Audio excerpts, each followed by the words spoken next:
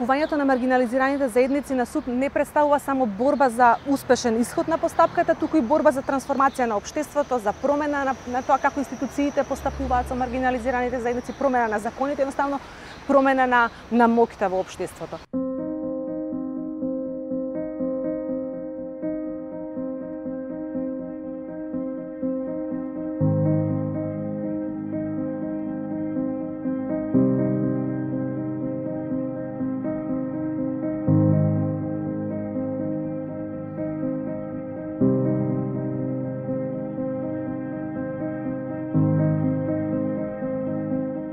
Од искуството од работа со овие луѓе, како и истражувањата направени низ годините, се покажува дека маргинализираните заедници се соочуваат со 10 пати повеќе правни проблеми во однос на општата популација. И токму заради тоа е важно и а, обезбедувањето на правна помош и поддршка на овие луѓе. Често пати, освен правничка, сум и психолог и социјален работник, трудејќи се да одговорам не само на правните, туку и на поинаквите на емотивните, на психолошките потреби на жртвите на родово базирани семено насилство, што за мене и за останатите членови од тимот значи поголема изложеност на стрес на работното место. Така што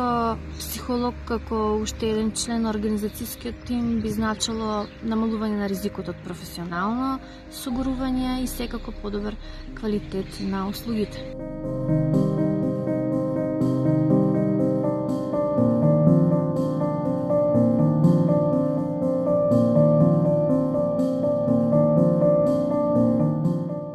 одредени групи се исклучени, се невидливи за законот, например трансодовите луѓе. Или кога одредено однесување не се казнува, например силувањето во брак. Или пак а, кога одредени заедници се криминализирани заради тоа како се однесуваат или за тоа кои, кои се, например сексуалните работници или луѓето кои потребуваат дроги, многу е важна а, борбата низ а, судските а,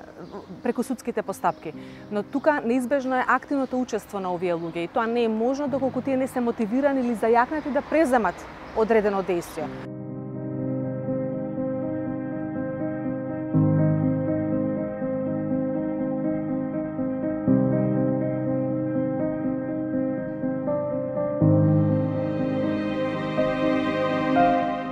Психосоцијалната поддршка е многу важен сегмент, би рекла, од овој процес, бидејќи на некој начин таа ќе овозможи јакнење на личните капацитети на оние кои што поминуваат низ остварувањето на правата, но исто така и на вклучување и на блиските, на средината, на другите системи на поддршка кои што се важни да го олеснат тој процес на остварување на правата.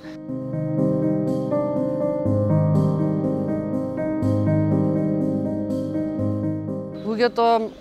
особено маргинализираните, кои што се соочуваат со потешкотија во остварувањето на основните права, исто така овој за за нив овој процес е доста долг и неизвесен и предпоставува точки кои што во кои што психолозите би можеле да понудат еден простор во кој што тие ќе бидат разбрани, нивното искуство ќе биде уважено и тие ќе имаат на некој начин една сигурносна мрежа која што ќе им помогне да истраат во процесот.